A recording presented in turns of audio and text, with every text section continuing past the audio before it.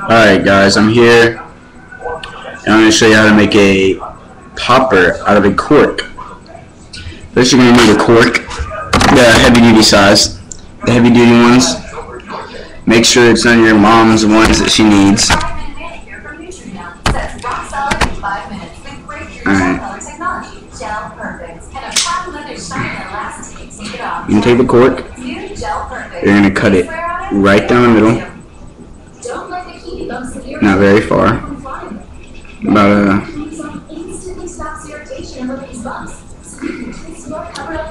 about a centimeter or so.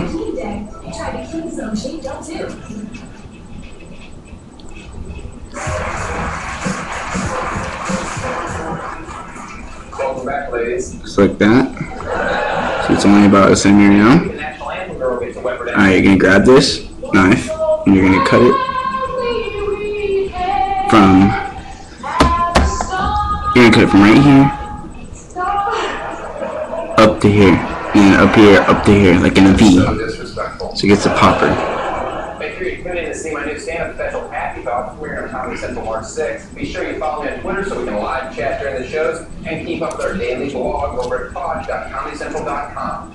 And finally, somebody's been taking a lot of unnecessary cheap shots at me lately. And it's okay when it comes from my half-wit fans. But it's not See, that's one half. fellow talk show host, especially one who's not even on network television. Let's know what this half had to say. Hi, I'm Wesley. I watched Tosh Point last night. And what can I say about Daniel Tosh? Think I got this show because I'm funny? You said it, Danny Boy, not me. So you get the popper look. This is not the best best uh, one that I've done. It's just a real quick video I'm doing. Alright, so then you get like an eye hole. Stick it in here for the hook. For the hook. And then you get you a three three prong thing. Get an eye hole and you screw it in there and use the epoxy to keep it in there. Right now I'm just going to show you with a real quick one. out of my room. But I thought you were gonna play with me. Not you, the audience.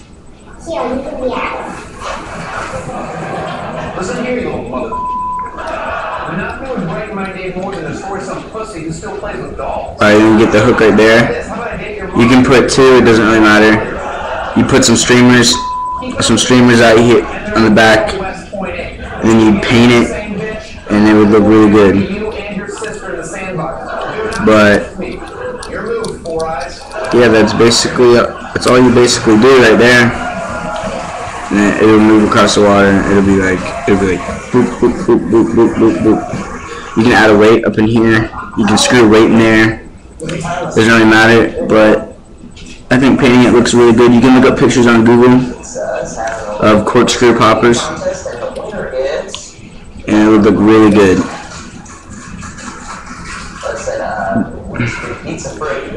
I'll have to get a video of this in action to show you guys. Alright, that's my video.